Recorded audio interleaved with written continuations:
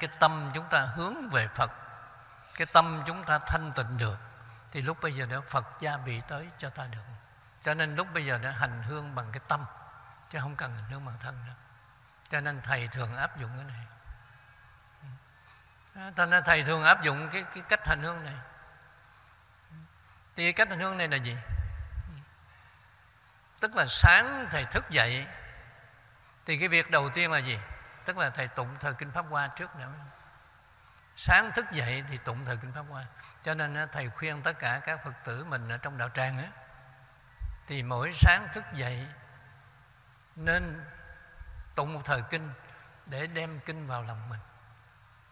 Đem kinh vào lòng mình, đem phật vào lòng mình để nó tẩy sạch cái lòng trần của mình đi. Cái này là quan trọng nhất thành ra tâm mình thanh tịnh cho nên khi tâm mình thanh tịnh rồi đó thì nó làm cho thân thanh tịnh cho nên thân thanh tịnh tâm thanh tịnh cho nên mình đi ra nữa. Là luôn luôn mình gặp cái chuyện may mắn. Cái này là cầu an này nên nó có các phật tử họ giữ theo lời thầy dạy đó họ thưa với thầy thế này. Nên nếu mà sáng nào thức dậy mà con không tụng thời kinh á, con đi ra ngoài con cảm thấy tâm mình bất an. Mà tâm bất an rồi nữa thì công việc làm nữa thấy nó cũng hơi hơi khó vậy. Cho nên sáng thức dậy, tụng một thời kinh xong rồi đó, thấy tâm mình yên, thì đi ra ngoài nữa, mọi việc đều dễ dàng hết. Thầy nói cầu an đầu năm là chỗ này. Cầu an đầu năm. Cho nên sáng thức dậy phải làm cái này trước đó. Cho cái tâm chúng ta nó thanh tịnh, thì bây giờ cái thân thanh tịnh theo mà thân tâm thanh tịnh thì chúng ta được an. Tại sao an? Tại chúng ta đi ra ngoài bằng cái tâm thanh tịnh đó, cái thân thanh tịnh đó. Cái thân thanh tịnh tức là thân có cái quay nghi, phải không? Cái người mà tâm không thanh tịnh, người ta nhìn vô ta thấy sao? Con mắt nó láo liên này, phải không? Tay chân của nó luôn luôn động đậy, phải không? Cái bước đi của nó, cái tướng của nó, ta nhìn ta thấy à, dễ sợ rồi. Cho nên, cái người lính thì đi theo kiểu người lính mà người ăn trộm thì đi theo kiểu ăn trộm. Công an thì đi theo kiểu công an phải không? Ai cũng có cái dáng đi hết tại sao vậy? Là vì cái tâm ở bên trong đó là lính cái tâm bên trong là ăn trộm cái tâm bên trong là công an. Cho nên nó tự nhiên hiện ra tướng ngoài. Các phật tử khi nào để ý một chút nhận ra thấy được. Thành ra có những người tới thăm thầy đó mặc dù anh mặc đồ thường nhưng mà thầy nhìn thầy thấy anh này thầy nghĩ à, anh này công an này phải không?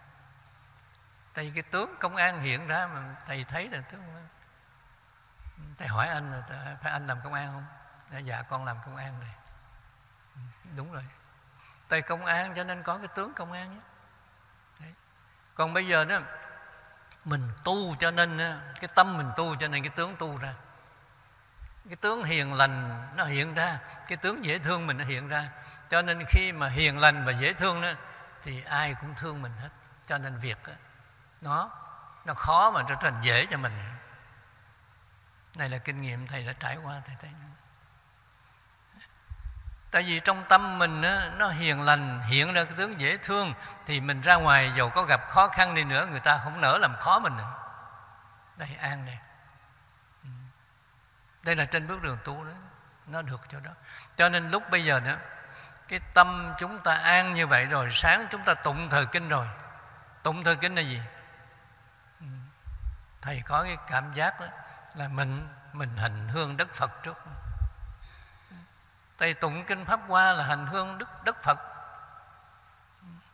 Cho nên chỗ này đó là diệu pháp liên qua kinh, tức là đất phật đó. Đức phật đó, diệu pháp liên qua kinh là sanh ra các đức phật, cho nên đây gọi là mẹ sanh ra các đức phật. Cho nên mình đầu tiên mình bước vô đất phật trước, thế giới phật trước cho nên. Đó. ta đi hành hương là ta ngồi tại nhà chứ ta tụng kinh nhé. Thành ra cái diệu pháp là cái tâm sáng. Liên hoa là trong sạch nhé, liên hoa là trong sạch. Ta nên nghĩ về cái tâm trong sáng và cái thân trong sạch hai cái này kết hợp trở lại gọi là kinh pháp hoa. Ta tụng thời kinh này xong rồi đó thì ta đem phật pháp vào trong lòng chúng ta. hết ta đi rồi đấy đi vào thế giới phật đây. Họ đi bằng cái gì? Đi bằng cái tâm. Ừ.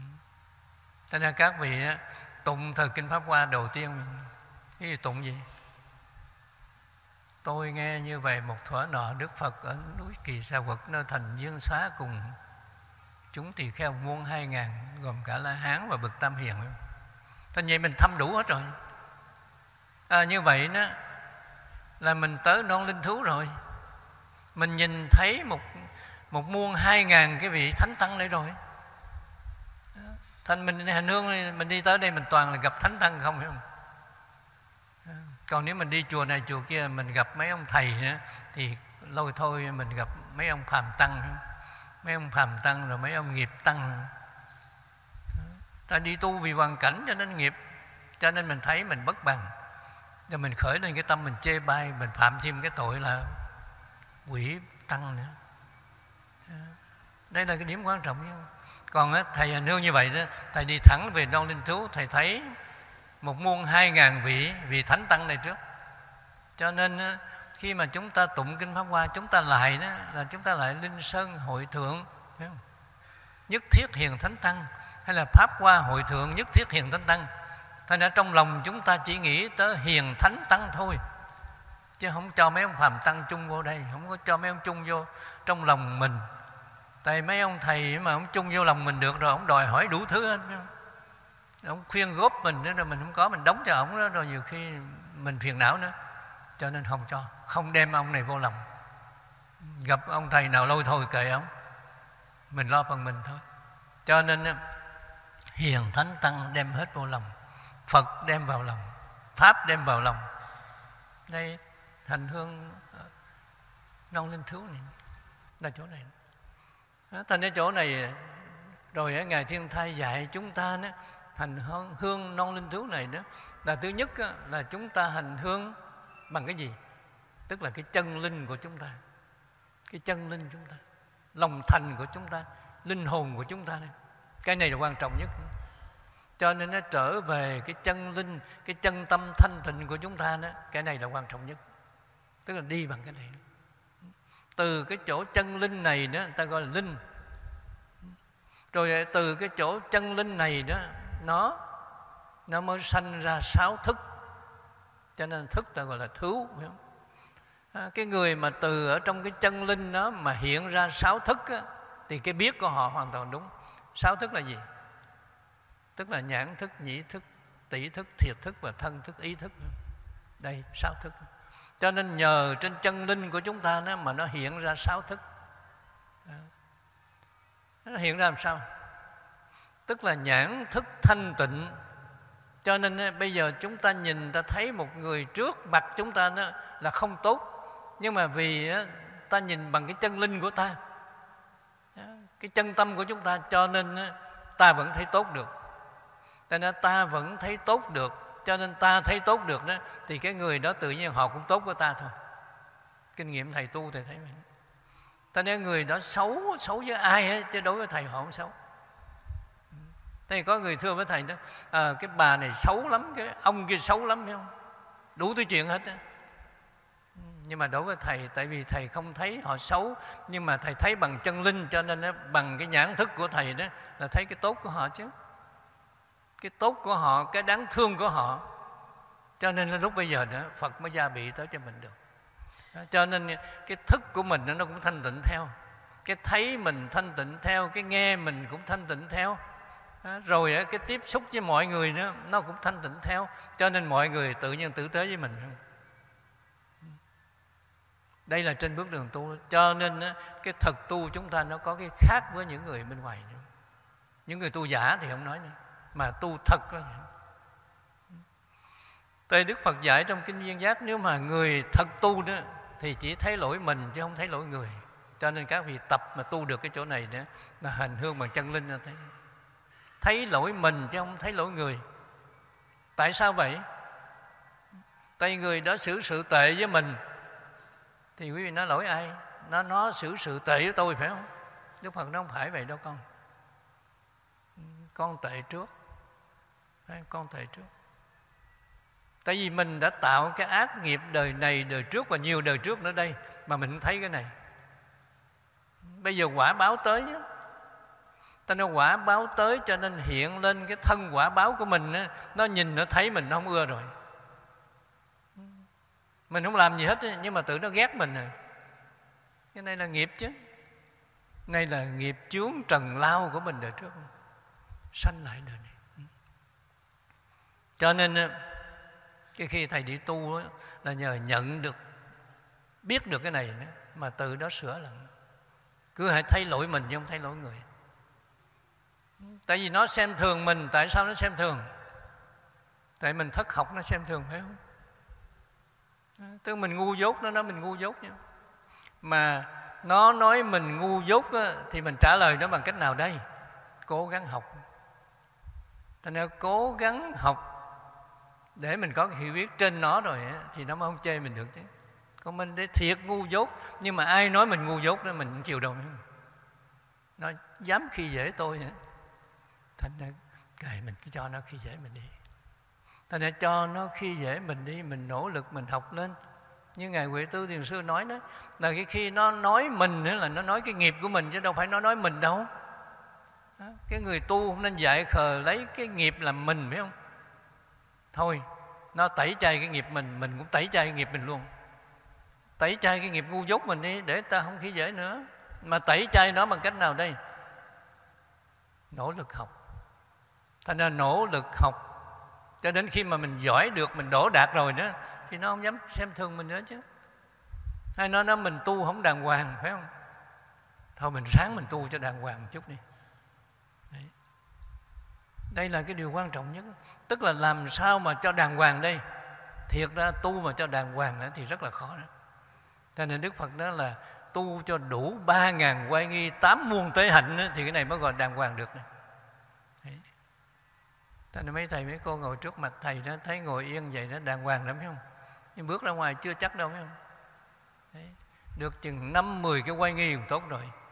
Tức là đi mà đi đi ngó thẳng phía trước đi không ngó qua ngó lại đó, thầy nói được một cái như vậy cũng tốt rồi. Luôn luôn giữ chánh niệm chứ không có nói chứ. Vừa nói vừa cười nó không được rồi. Khó lắm Có người mình mà trọn lành á, là con người đó không ai chỉ trích mình được mà còn người chê mình còn người chỉ trích mình á, mình biết mình chưa đàng hoàng thế nên nỗ lực thêm cho nên đức phật dạy phải nên thấy lỗi mình để mình sửa sửa lần nhé mà khi sửa hết rồi á, thì nó đâu chê mình được nữa đây là trên bước đường tu nên thầy thường hay nói đó là lọ dính trên mặt mình đó, mình không thấy đâu Tại con mắt mình để thấy thiên hạ chứ con mắt mình không có thấy được cái mặt của mình phải không? Nhờ người khác thấy họ chỉ cho nên mình mới mới rửa đi hoặc là nhờ họ lao giùm mình phải không? Đấy là trên bước đường tu. Đó là trên bước đường tu. Cho nên cái thức mình thanh tịnh rồi đó, khi thức mình thanh tịnh rồi đó là mình không bao giờ nghĩ cái xấu, cái ác của người khác hết đó, mà nghĩ cái của mình mình lo mình sửa. Lo mình sửa, lo mình tu. Các vị thánh tăng đó là nhờ cứ lo sửa lo tu đó mà trọn hạnh được. Lần lần nữa nó trở thành tốt đi. Cho nên trên bước đường tu đó chúng ta từ cho này ừ. thì như vậy đó là thức được thanh tịnh thành ra tu từ cái chân tâm chúng ta thanh tịnh cho đến cái thức chúng ta thanh tịnh, tới cái thứ ba là sơn là gì? Sơn tức là thân tứ đại này. Cái thân tứ đại mình này thì các vị thánh tăng họ nói, ơ, đây là cái thùng phẫn phải không? Cái túi da này, đựng đồ ô uế bên trong mà thiệt ra là như vậy. Cái đồ ô uế bên trong này, cái thân này là ô uế thiệt đó. Nhưng mà cái khi đó cái tâm quý vị thanh tịnh rồi, cái thức quý vị thanh tịnh rồi đó, thì cũng con người đó mà người ta thấy, người ta sanh ra tâm kính trọng cũng con người đó chứ người nào khác đâu. Nhưng mà hồi nãy ta thấy, ta ghét mình, ta thấy, ta chê mình. Nhưng bây giờ ta thấy, người ta thương mình, ta thấy người ta kính trọng mình, thì chuyển đổi này.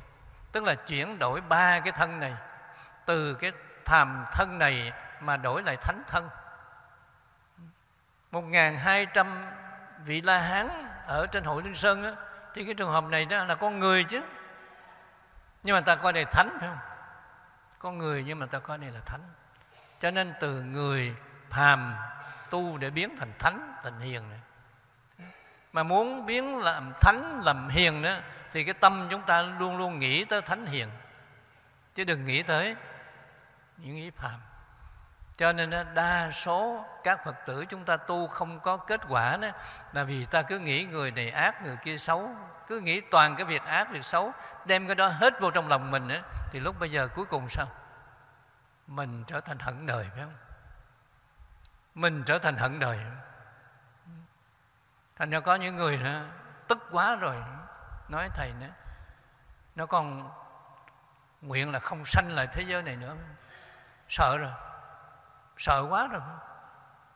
Ai cũng sợ hết rồi. Phải vậy không? Thành ra ai cũng sợ hết, mà phải sợ ngược lại mình chứ. Đây là cái điểm quan trọng. Nên trên cái bước đường tu mình thầy nói đầu tiên là chúng ta tụng kinh pháp hoa, là chúng ta hành hương non linh thú là sáng thức dậy đó là ta hành hương non linh thú đem phật vào lòng đem pháp vào lòng đem tăng vào lòng mình đi thì tâm mình đó, hoàn toàn thanh tịnh đi hành hương rồi. Chưa đi phải không? Chưa đi bước nào hết còn ngồi tại chùa đây hay là còn ngồi trong gian phòng mình đó nhưng mà đã đi rồi đó. Tại ra khi mình đi này xong rồi đó Mình tụng cái kinh Pháp Hoa đó Mà quý vị tụng tới Tới phẩm phổ môn phải không? Tụng tác phẩm bốn môn là là phẩm thứ 25 Cái này là thầy chọn đấy. Thầy chọn tất cả những cái phẩm mà trọng yếu của kinh là thầy, thầy sắp cái lịch để đi hành hương tâm linh của mình. Đây là cái điều quan trọng nhất Tới cái trên bước đường đi của chúng ta đó, từ cái chỗ phẩm tựa thứ nhất này là chúng ta đi qua tới phẩm pháp sư thứ 10 này. Thế nên qua cái phẩm pháp sư thứ 10 tại nên phẩm pháp sư thứ 10 này, thì ta nhớ cái điều gì quan trọng nhất đây? Các vị nhớ khi ta hành hương ấy, mà ta đi lần tới cái phẩm thứ 10 rồi phẩm pháp sư thứ 10 nữa thì ta nhớ cái gì? Ta nhớ ba việc đó. vào nhà Như Lai mặc áo Như Lai và ngồi tòa như lai. Đây là điểm quan trọng nhất. Tòa như lai là trí bát nhã áo như lai là hạnh nhu hòa nhà như lai là tâm từ bi đây cái này quan trọng nhất. Làm sao chúng ta phải vào nhà như lai được? Vào nhà như lai là chúng ta phải phải phát khởi cái tâm từ bi lên.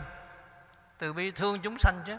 Thì khi mà khởi lên cái tâm từ bi thương chúng sanh này đó, đó thì cái trường hợp này đó, ta gọi đi hành hương phổ đà.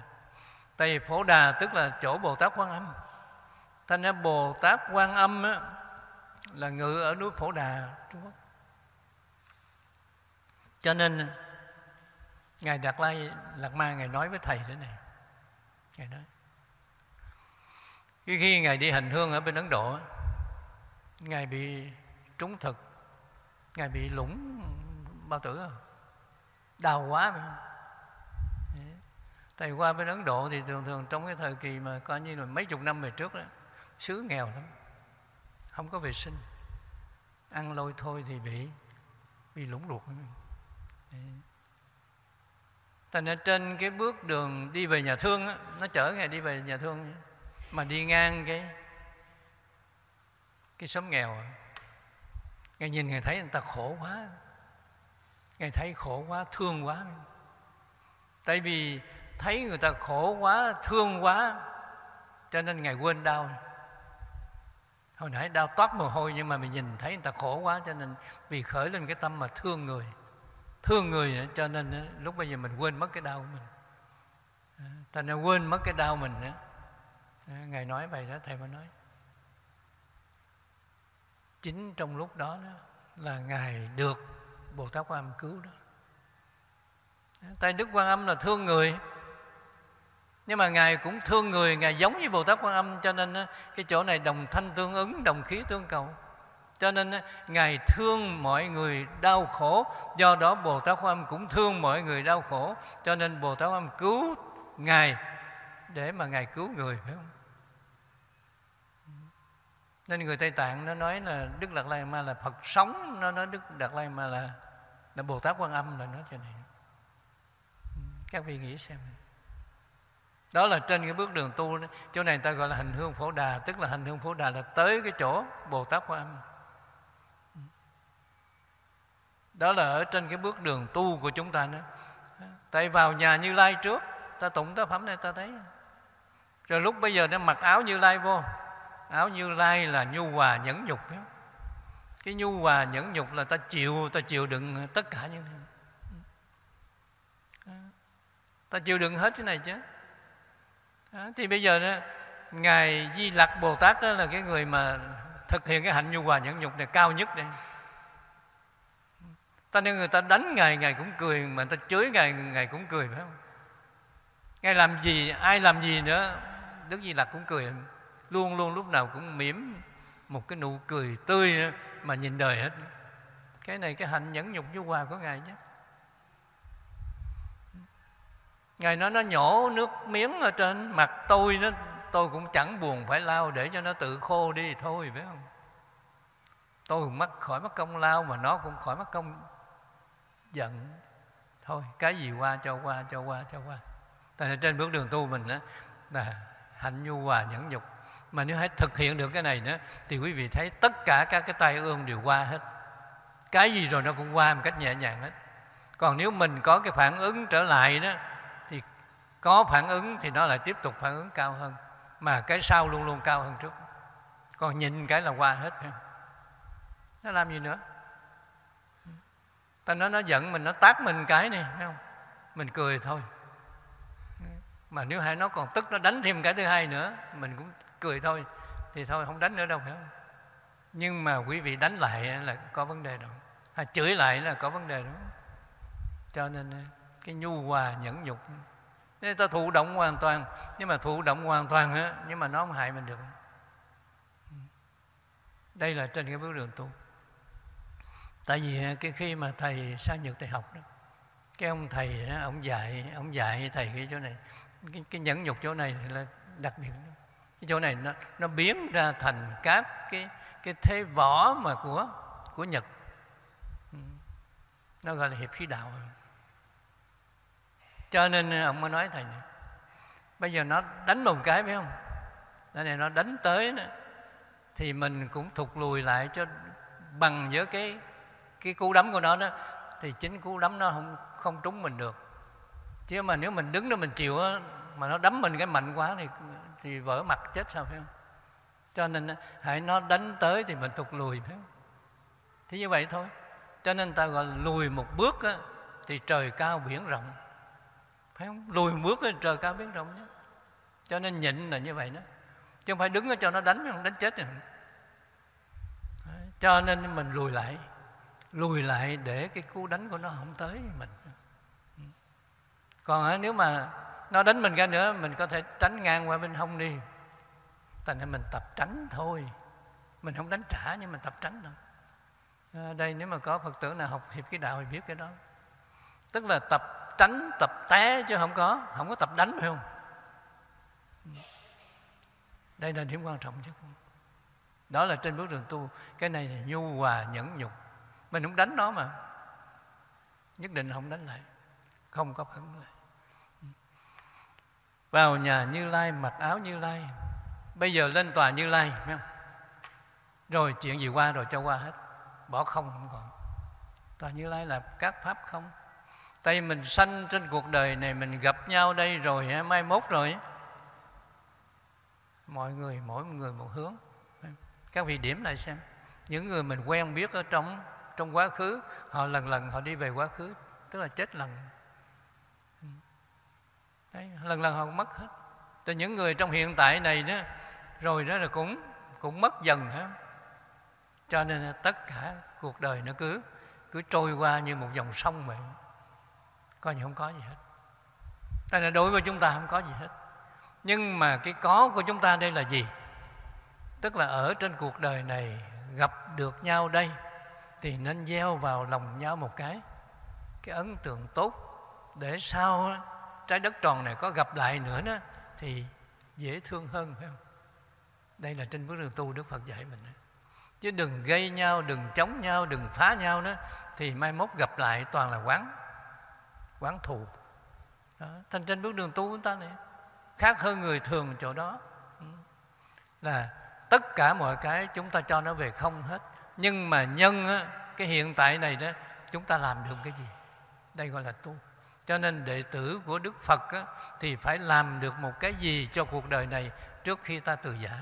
Tại ta biết thế nào rồi ta cũng chết. À, những người này rồi thế nào ta cũng chia ly. Nhưng mà khi gặp nhau đây ta nên làm một cái gì đó. Đây là cái điều quan trọng nhất. Mà thầy thể nghiệm thầy thấy đúng. Khi mà thầy sang nhật học thầy có một người bạn rất tốt. Là ông hòa thượng mà thỉnh thoảng đi qua thăm thầy ông này đó là nói với thầy đó là mình làm bạn với nhau trên năm chục năm mà không có, không mất lòng nhau gì hết. Tên ông này nó cố gắng không làm mất lòng thầy, Mà thầy cũng cố gắng không làm mất lòng ông ta. Hai cái này sống với nhau. Ta này gặp nhau như vậy đó, Gọi là pháp lữ, Tức là bạn ở trong chánh pháp của Đức Phật đó.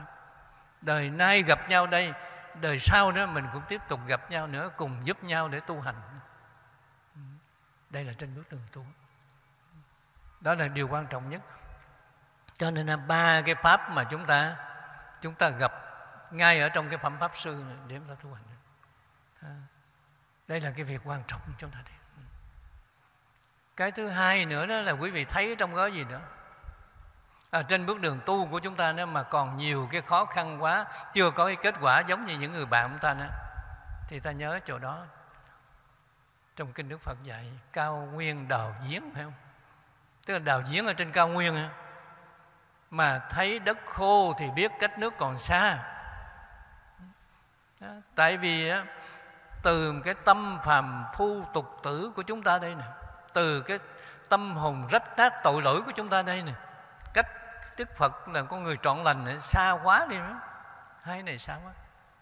Cho nên cứ hãy phá vỡ cái lớp phiền não này thì lớp phiền não khác nó lại lên. Phá được cái trần lao này thì cái nghiệp chướng khác nổi dậy, phải không? Cho nên trước mặt chúng ta nó hoàn toàn những chuyện khó. Cho nên lúc bây giờ để chúng ta nói là quả vô đơn chí mà. nên trên bước đường tu của thầy là thầy chuẩn bị cái này mỗi một lần gặp khó khăn mà vượt qua được đó, thì thầy nghĩ chuẩn bị tinh thần để tiếp nhận một cái khó khăn sau cao hơn nữa.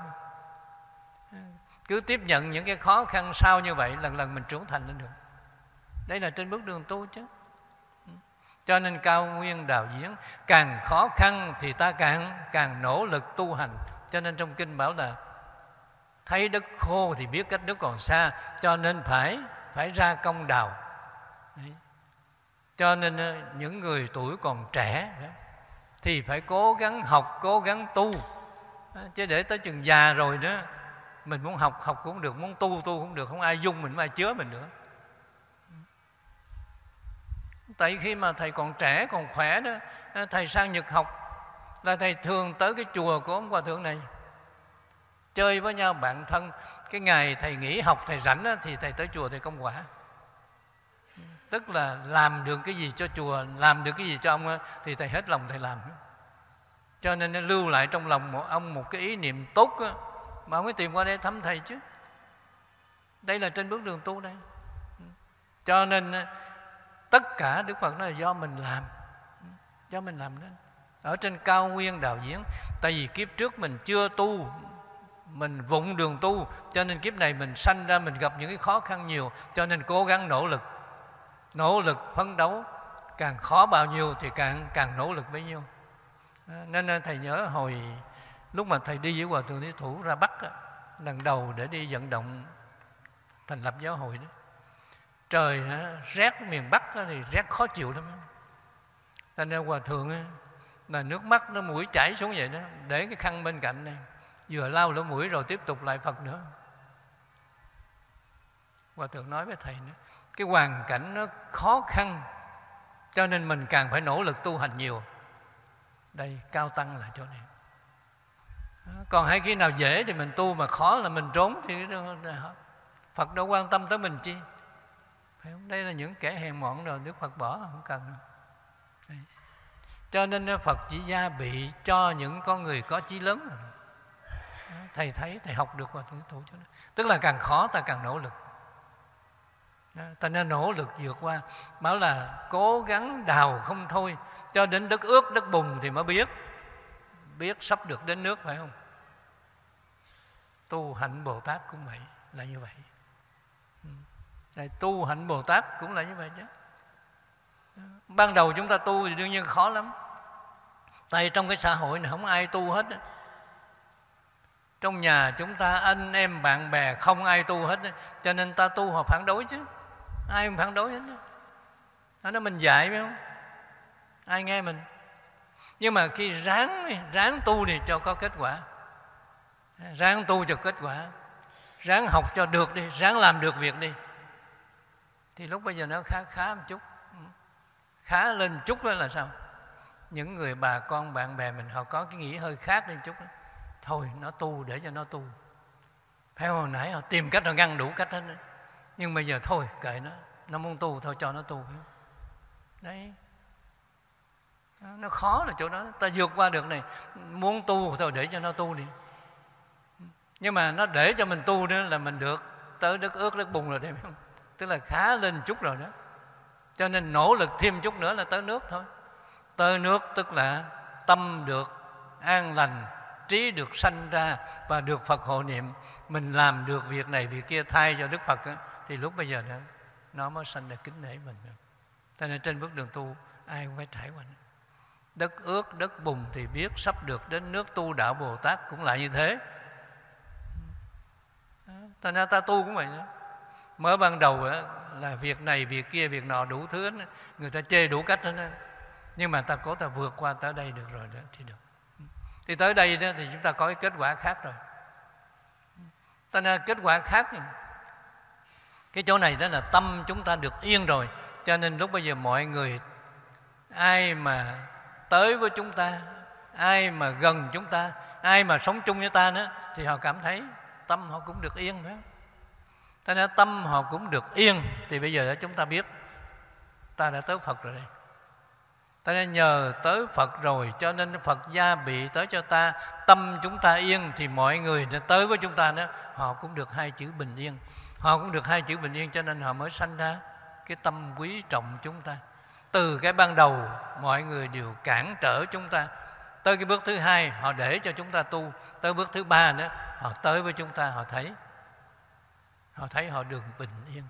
Cho nên, lúc bây giờ đó, họ trở thành, họ theo ta. Cái này là con đường đức phật thích ca đã đi. Thế nên mới ban đầu ngài đi tu ai cho, phải không? Cản trở à, tới cuối thì ngài quyết tâm tu rồi nữa. Thôi nó tu thôi để cho nó tu. Ta nên tu để cho nó tu. Ông vua tình phạn nữa ông nói thôi lựa thêm ba người bên họ cha hai người bên họ mẹ để đi theo coi chừng nó có cái gì giúp đỡ cho nó phải không? Tức là để cho nó tu và tìm cách giúp đỡ cho nó tu. Ta ra tới chừng mà đức phật thành phật rồi đó đức phật trở về hoàng cung thì lúc bây giờ ông vua tịnh phạn ông mới suy nghĩ trở lại. Ông mới suy nghĩ trở lại hoàn toàn khác sanh ra kính trọng. Cho nên đức phật trở về hoàng cung thì vua tịnh phạn gọi đức phật bằng đức thế tôn lúc đó ông chứng được sơ quả rồi đó. Ông chứng được sơ quả. Đây là trên bước đường tu. Cho nên ta phải nỗ lực ta tu cho có kết quả. Có kết quả thì mọi người chung quanh họ nhìn thấy, họ phát tâm, họ tu theo. Thành ra tất cả các phật tử mà nếu nói tới thành phật thì nó còn xa lắm. Nhưng mà trong hiện tại này mình tu làm sao đó mà tâm mình được an vui và sức khỏe mình tốt cái cuộc sống mình ổn định được á thì người ta thấy vậy cũng tốt rồi biết không? Ờ nó tu nhưng mà cũng được rồi đó. Còn những người khác bon chen trên cuộc đời rồi tới cuối cùng thì chết chóc tội tù. Thôi được nó tu vậy cũng được rồi. Hành hương á, thì thầy chia ra làm ba bậc khác nhau. Tức là thứ nhất á, là cái bậc sơ tâm. Cái bậc sơ tâm tức là những người mà mới phát tâm để đi hành hương và chiêm bái thánh tích. Cho nên ờ, tất cả mọi người đó, sống ở trên cuộc đời này chúng ta thấy ờ, nó rất là ngắn ngủi mà ở trong cuộc sống chúng ta đó, cũng lắm điều mà nan giải và tai ương. Cho nên cảm thấy cái đời sống chúng ta đây nó không có bình yên. Do đó đó mà chúng ta đi hành hương để chúng ta cầu được bình yên. Thì đây là những người sơ tâm. Tức là tâm bất an. Cho nên ta mới đi cầu an mà cầu an thì nếu hai ta muốn được an thì Đức Phật dạy chúng ta cái tâm chúng ta nó phải thanh tịnh. Thì lúc bây giờ đó, nó mới được an vui, thanh tịnh và an vui, hai cái này là chính. Mà người phật tử thì đức phật nói là phải nhìn thấy được hai loại hoa. Cái loại hoa thứ nhất là cái loại hoa mà màng thù sa hoa mạng thù sa hoa nó có nghĩa là thanh tịnh.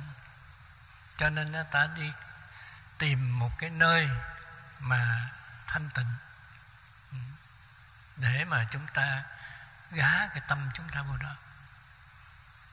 Rồi từ cái chỗ đó nó chúng ta mới nhìn thấy một cái loại hoa thứ hai nữa. À, đó là an vui. Cho nên à, đầu năm à, chúng ta cầu cho cái tâm chúng ta nó được thanh tịnh và được an vui hai cái này hai cái chính. Ừ. Nhưng mà muốn như vậy đó ừ, thì chúng ta nó phải tránh xa những cái chỗ mà ồn ào và phức tạp. Tại ồn ào phức tạp ấy, thì cái chỗ đó là bất an rồi là nguy hiểm. Ờ, thì cái ồn ào là tại sao vậy? Nơi đó nó có những cái người ác và người xấu nhiều ta nói người xấu người ác đó họ lợi dụng cái chỗ đông người. Cái chỗ đông người. Họ chen chúc họ giành giật. Để rồi đó họ có thể là cướp bóc này cho nên ở đây đó trong những cái năm đầu mà chúng ta mới lập chùa nữa thì chúng ta vẫn bị cái nạn đó. Tức là phật tử về đây đông. Cho nên cái người xấu ấy, họ lợi dụng cái chỗ đông này nữa, để họ móc túi nữa, họ móc túi ăn cắp giày dép. Cho nên ờ, ở chùa mình nó có để cái bảng là phải cẩn thận. Ừ, tức là mình đi chùa nữa là mình không nên đem tiền theo nhiều, mà mình cũng không nên mang giày dép tốt nữa, để gợi cái ý tham của những người khác cho nên những cái năm đầu thì thường thường đó là mình hay bị cái đó. Nhất là các phật tử ở xa mà họ về đây họ dự cái đàn dược sư đó thì họ bị. Thậm chí có những người nữa mà bị nó rạch cái tay áo tràng đi. Tức là cái cái cái, cái bóp tiền là giấu ở trong cái tay áo tràng ấy, mà nó thấy cái tay áo tràng thấy hơi nặng nặng một chút nó ngồi kế bên cạnh mình đó, nó lấy dao nó, nó rạch đi để lấy tiền. Lấy tiền mà mất giày dép tốt này nhiều thậm chí nó có những người nữa mà mất điện thoại. Cho nên cái người xấu thì họ lợi dụng cái chỗ đám đông để mà họ cướp giật. Vì vậy đó mà chúng ta đi hành hương muốn được yên thì chúng ta không nên tới những cái chỗ đó. Những cái chỗ phức tạp đó chúng ta tránh. Để cho cái tâm chúng ta được yên. Không đem những đồ quý giá theo người mình. Vì vậy đó mà những cái kẻ xấu đó, nó nhìn nó thấy đó. đạo tràng chúng ta đây đó, là những người đi chùa tuân thủ theo cái lời dạy của thầy cho nên à, không có đồ quý giá. Do đó đó, mà cái khi anh rạch áo anh giật bóp này, về mở ra coi không có gì hết.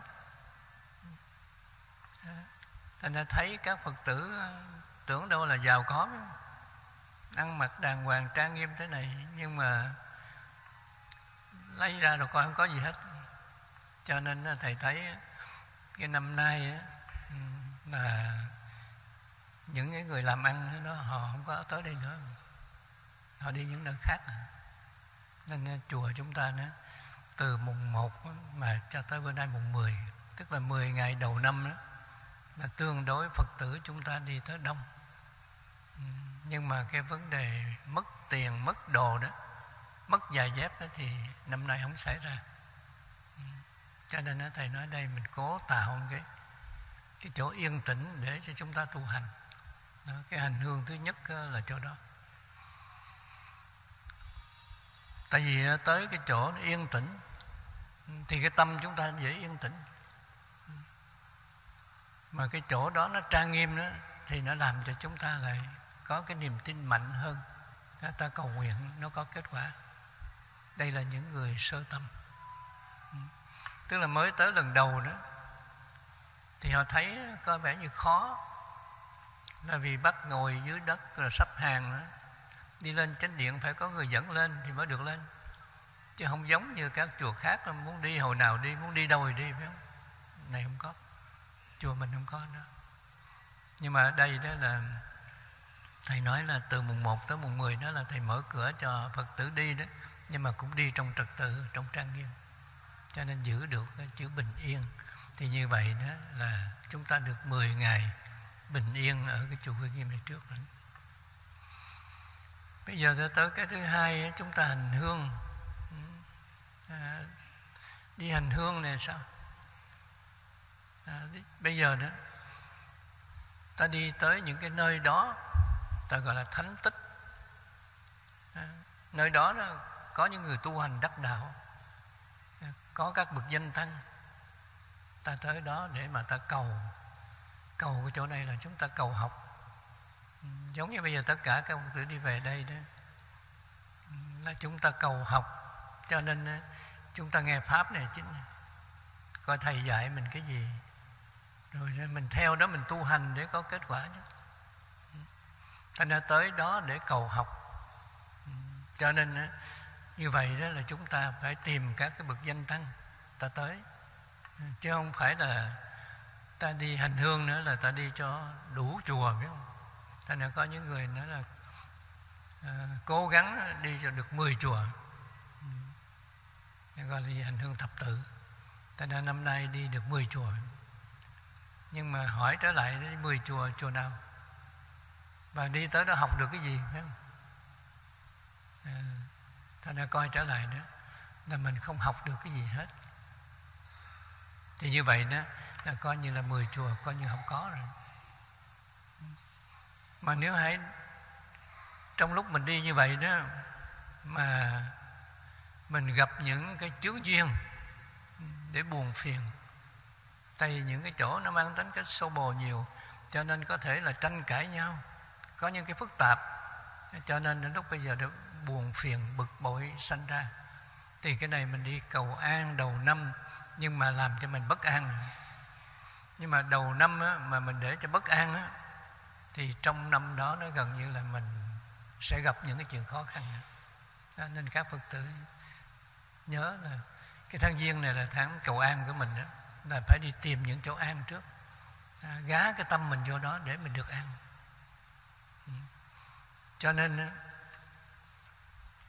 cái bước thứ hai mà chúng ta đi đó à, tới chỗ đó đó là thánh tích.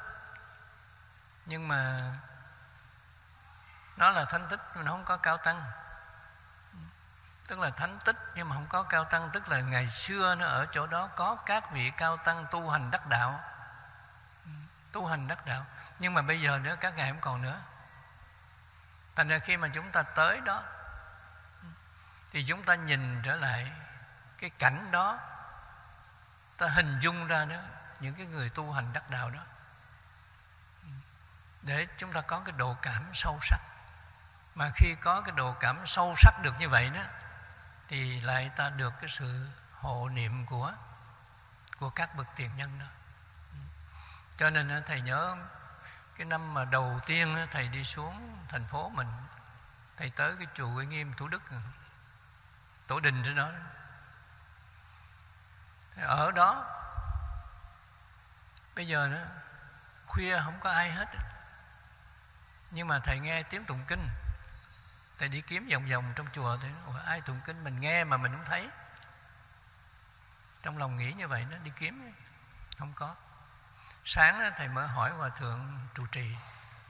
Thầy nói, hồi tối này nữa là con nghe có tiếng tụng kinh trên chùa mà con đi kiếm không thấy ai hết thì hòa thượng trụ trì mới nói, thầy, tổ tụng đó con đây, cái điểm quan trọng nhất là chúng ta hành được. Ở trong cái đêm thanh vắng như vậy, nó không có người mà ta nghe tụng kinh. Thì như vậy đó là tại cái tâm chúng ta đã thanh tịnh rồi. Cái nhiệt tình của chúng ta, nó muốn cầu phật, cầu tăng, cầu pháp. Cho nên nó tâm chúng ta thanh tịnh. Thì cái tâm chúng ta thanh tịnh đó, nó mới tương ưng với phật, với tăng, với pháp cho nên lúc bây giờ chúng ta nghe. Tại vì nó tổ tụng kinh. Nhưng mà tổ là đã viên tịch mấy trăm năm rồi, mà sao cho mình nghe đây? Ừ. Cho nên sau này lớn lên rồi học được rồi hiểu được á, thầy mới nhận ra được đó. khi đó cái nhiệt tình của mình, cái tâm mà cầu đạo của mình á, nó cảm được với các vị này. Cho nên tự nhiên mình nghe được. Mình nghe được tiếng kinh đó, cho nên ờ, nghe được như vậy nếu mình thấy lòng mình nó bình yên. Dù trong hoàn cảnh xã hội nó có khó khăn mấy đi nữa đó nhưng mà mình vẫn cảm thấy bình yên được. Tại sao vậy? Là cái tâm mình nó đã gắn liền với thế giới của phật của hiền thánh rồi. Cho nên cuộc đời này nó có sóng gió như thế nào đi nữa đó nó cũng không nhận chìm mình được. Tại vì thầy thầy nói là thầy sanh ra trong thời pháp thuộc và đi tu đó là trong cái thời đó chiến tranh đó. thì đây là khó khăn lắm. Nhưng mà cái hoàn cảnh này đó đối với thầy nó không tác tác dụng được. Là tại vì cái tâm thầy nó gắn với nó gắn với Phật pháp. Cho nên lúc nào thầy có cái cảm giác đó, là mình được Phật che chở. Được Phật che chở cho nên được bình yên. Nên hồi đó, đó thầy nhớ cái tuổi mới 12 thôi. Nhưng mà từ ở trên bên Dược ở Củ Chi mà thầy đi xuống thành phố. Thầy đi qua Đức Hòa, rồi thầy đi Thủ Đức, rồi đi nhiều tỉnh, đi tìm Phật. Nhưng mà vẫn bình yên được, bình yên được cho nên thầy nói là nhờ cái niềm tin mà nó dẫn mình đi. Cứ đi tới cái chùa nào vậy nữa đầu tiên thầy nhìn thầy thấy mấy cái tháp, mấy cái tháp. Thì nghĩ ngay đây là các vị tổ này Ừ, các vị tổ đây cho nên ờ, thầy tới ờ, thầy lễ bái các cái tháp này. Rồi lúc bây giờ nó mới tạo thành cái thế bình yên cho mình. Ừ. Thành ra đi như vậy thầy đi có một mình chứ không phải đi tập thể chứ không phải là đi hành hương giống như ngày nay mà mỗi lần tổ chức đi nữa thầy thấy các cái đoàn hành hương họ tới họ thăm chùa mình đi một lần mấy trăm người tức là mấy chục chiếc xe đò lớn. Đó, thì như vậy nó khác. Hồi kia thầy đi hành hương đi một mình thôi thậm chí có các vị cao tăng họ đi hành hương nữa mà thầy gặp ở bên bên phổ đà sơn bên tàu. Là từ ở dưới chân núi đó, mà cứ ba bước họ lại một lại mà họ lên tới trên trên đỉnh núi. Đó, thành ra các vị nghĩ họ đi hành hương đó như vậy đó. Là tại vì trong lúc đó sao họ làm được? Để trong lòng họ nghĩ trước mặt họ có phật tức là trước mặt họ có phật bà cho nên đó, họ đi ba bước họ thấy trước mặt họ có phật cho nên họ lại. Đây là cái điểm quan trọng nhất. Đó là các vị cao tăng đi hành hương mà thầy thấy được. Còn có các vị khác nữa đó. Vượt cái bước này đi. Như ngài hư vân hòa thượng đó ông hòa thượng này sống tới 120 tuổi mới chết. Nhưng mà ông đi hành hương thì cứ ba bước một lại đó mà quý vị biết đó, là từ phổ đà sơn mà ông đi như vậy, ông lên tới ngũ đại sơn. Ta nên phổ Đà Sơn mà cứ ba bước đi một lại lại một lại mà đi cho tới ngũ Đại Sơn đó là như vậy đó, là phải đi mất hết ba năm. Đi hành hương ba năm. Đây. Nghe nói là mình sợ rồi đó. Tại vì cách mấy ngàn cây số mà cứ ba bước lại thì quý vị nghĩ mà đi cho tới nơi đó thì chuyện này không phải chuyện dễ đâu. Nhưng mà đây ta biết đó, các vị này là các vị cao tăng hay các vị thánh tăng mới làm được. Đương nhiên ngày nay là chúng ta đi hành hương dễ hơn các ngày hồi xưa. Như đây ta nói đi hành hương ở ấn độ phải không? Hành hương ấn độ nữa thì có mấy phật tử mình để đi hành hương ấn độ về thăm thầy này thầy hỏi à, mấy vị nó con đi hành hương ấn độ về đây? Thầy hỏi đi đâu? Nó con đi bồ đề đạo tràng rồi con đi lên tới. Non linh thú con tới chỗ đức phật niết bàn lên tới. Giường lam thì đi phật đản sanh. Phải không? Tức là đi nhiều nơi như vậy đó mà con tuần lễ về tới thành phố. Đó, thì những người này họ đi nó không biết hành hương như vậy nữa. Họ có thấy gì không? Đây là cái điểm quan trọng nhất cho nên đi năm lần, mười lần. Nhưng mà thầy nhìn thầy thấy không có một tiến bộ nào ở trên đường tu hết. Còn đi hành hương nữa. Kỳ đó thầy đi đấy. Mà tự nhiên thầy đi tới cái chỗ đức phật niết bàn. Thành nên tự nhiên đi tới cái chỗ niết bàn, phật niết bàn nữa tự nhiên có cái độ cảm. Thành nên có một cái độ cảm rất sâu về đức phật chỗ này. Thầy nghĩ là đức phật bây giờ vào niết bàn rồi. Cho nên thầy có một cái ý niệm đó là thay đức phật để đi thuyết pháp. Thay đức phật để đi thuyết pháp. Thành thì chỉ có cái ý niệm như vậy thôi. Nhưng mà thầy cảm giác được phật gia bị tới. Thành nên phật gia bị tới cho thầy cho nên ờ, suốt một cái khoảng thời gian dài, trên 50 năm nữa, mà thầy thuyết pháp đây con số các phật tử đi theo thầy ờ, lâu rồi ta thấy. Thành nên khi thầy thuyết pháp đó, là thầy nhận được cái sự gia bị của đức phật tới rồi thầy thuyết thôi. Ờ, thầy cũng không đọc trang sách nào hết mà như vậy đó là suốt mấy chục năm mà, làm trưởng ban pháp trung ương đó mà vẫn làm được. Cho nên cái điểm quan trọng nhất đi hành hương chỉ một lần thôi mà nhận được cái sự gia bị của đức phật là cuộc đời mình hoàn toàn thay đổi. Hòa thượng thiện siêu hòa thượng nói thầy nó tôi đi tới bồ đề đạo tràng nhìn thấy cái bồ đề đó, tự nhiên hai hàng nước mắt rơi xuống.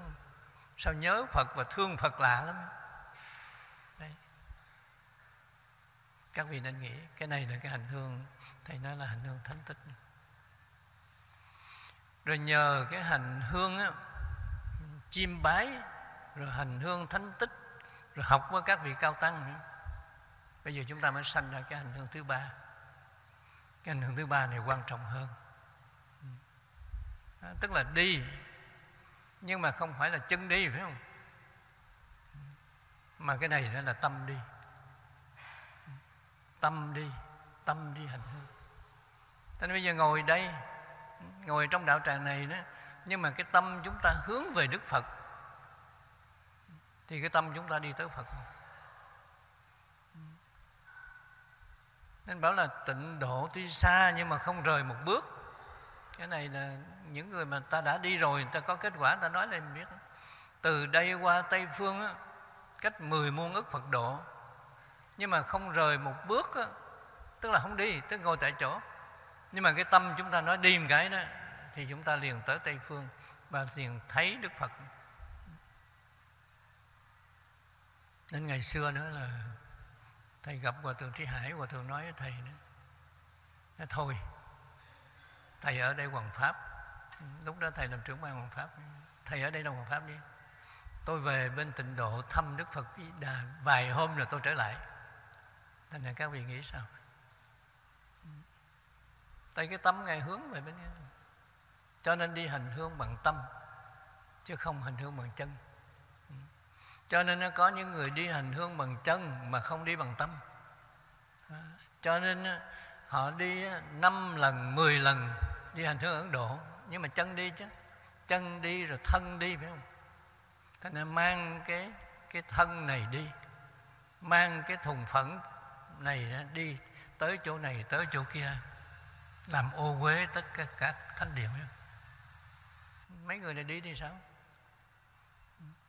Ta đã đi tới những cái chỗ đó, đó là đem cả cái thân ô uế mình và cái tâm ô uế mình tới mình đổ vô chỗ đó nó thành ô uế thêm hiểu không? Đây là trên bước đường tu đó chúng ta nhận. Tức là mang cái thân đi nhưng mà cái tâm họ có đi không? Ta nghĩ cái thân họ đi qua tới bên ấn độ này nhưng mà bây giờ đó, về hỏi sao? Ấn độ nóng quá thầy phải không? Biết ấn độ nóng thôi. Tới cái thân qua bên đó nóng. Đây là cái điểm quan trọng nhất trên bước đường tu. Hình hương, nhưng mà đi bằng cái thân, không đi bằng tâm. Cho nên nó đi về rồi nó bị cảm, bị bệnh, bị này, bị kia đó. Là trường hợp này là gì? Ta đi bằng cái thân nhưng không phải cái tâm. Cho nên nó đi bằng cái tâm thì thường thường người ta đi thân đi và tâm đi. Mà khi cái tâm chúng ta thanh tịnh rồi đó thì cái thân này nó thanh tịnh theo. Cái tâm thanh tịnh thì cái thân nó thanh tịnh theo. Cho nên chính cái tâm đó nó, nó mang cái thân này nữa cái thân này đi tới chỗ đó thanh tịnh. Thầy có những lần thầy có cái cảm giác thế này. Ấn độ nóng thiệt. Nhưng mà vì cái tâm chúng ta thanh tịnh cho nên tự nhiên thầy cảm thấy không nóng. Cho nên mọi người cảm thấy nóng, nhưng mà thầy cảm thấy không nóng. Cho nên chỗ này nữa, cái tâm chúng ta thanh tịnh mà cái thân chúng ta cũng thanh tịnh theo. Đây. cho nên một số các phật tử mình tu lâu rồi nữa, có kinh nghiệm này phải không? Cho nên có những người tu lâu rồi nữa, mà bây giờ nó lên chánh điện tụng kinh nó ở trong chánh điện nóng quá, thôi ra ngồi trước cho nó mát hơn. Ta cái này là gì? Cái thân chưa nóng nhưng mà cái tâm nóng trước là không? Nay mình tụng bằng phiền não mà. Tại mình nghĩ trong chánh điện là nóng, cho nên mình ra ngoài ngồi cho mát. Là đi tu nhưng mà nghĩ, thôi, ngồi mát. Nhưng mà thầy thì ngược lại thầy nói ngồi về kia cách phật xa quá, phải không? Thôi mình tới gần đức phật hơn một chút. Các vị nghĩ sao? Hai cái này hoàn toàn khác nhau. Ừ. Đây là trên bước đường tu cho nên chỗ này đó là cái thân á, chưa nóng nhưng mà cái tâm đã nóng rồi. Còn ngược lại người mà đi hành hương bằng cái tâm á, thì lúc bây giờ đó trời nóng thân nóng nhưng mà tâm chúng ta quên nóng. Cho nên quý vị ngồi yên rồi quý vị tụng hết thời kinh á, ừ, mà mình cảm thấy không nóng. Không nóng tại thầy có cái cảm giác rồi. Cho nên khi tụng hết thời kinh thầy thấy có những người ngồi chung quanh thầy đó, có người ngồi ờ, đứng dậy thấy dưới này một dũng mồ hôi, phải không? Nhưng mà trong lúc đó, thầy vẫn bình thường thôi. Tại vì cái tâm không cảm giác nóng, cho nên cái thân này cũng không nóng này nhờ cái tâm thanh tịnh này đó, mà nó làm cho cái thân mình thanh tịnh theo. Ta nói thân mình thanh tịnh theo rồi đó thì lúc bây giờ thân và tâm đồng thanh tịnh thì bây giờ được phật gia bị tới. Còn bây giờ đó, cái tâm chúng ta không thanh tịnh nó làm cho cái thân chúng ta thêm ô uế phải không? Thì làm sao phật lực gia bị tới được? Thành nên chúng ta sợ phật, chúng ta tránh xa đi thì phật lại càng càng xa ta hơn nữa. Cho nên trên bước đường tu hành thầy nghĩ là khác nhau rồi